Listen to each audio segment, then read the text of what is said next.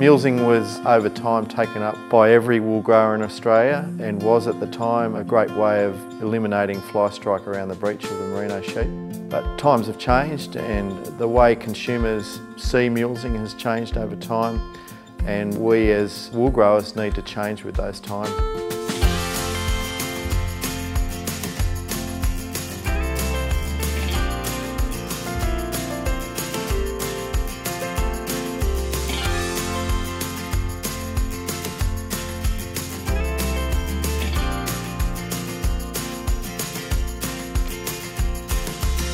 We were engaged to conduct some research into the transition of wool growers from wrinkly breed type sheep to plain bodied sheep, and the results speak for themselves. More than 77% of producers surveyed have transitioned within that five year period to non-mules merinos. More than 80% of producers are getting better growth rates and more lambs on the ground. People are getting a lot less breech strike and body strike.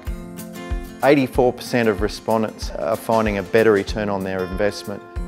The type of sheep that it was, there was really no alternative, but we've been so fortunate that we've got sheep now that we can breed that haven't got that skin on them in the hindquarters and they don't need to be mulesed.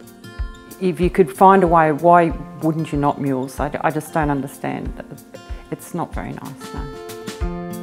What I'd say to a farmer who wants to transition today with the genetics that are available, I think you could transition very easily in three to five years with the right genetics and the right advice. We don't need to try to jazz it up. They're very good results and that's what we found. Well, I've read the reports and the findings. Uh, just through genetics and good management, you can quickly change a sheep within two generations that doesn't need mulesing and has these other co-benefits and it's just time we moved on. The market for wool has completely changed to what it was 50, 100 years ago. The future will involve looking at the market first and the market overall is looking for a product that's ethically produced, that's sustainable and sees people doing and attempting to do the right thing by both their animals, their land and their people.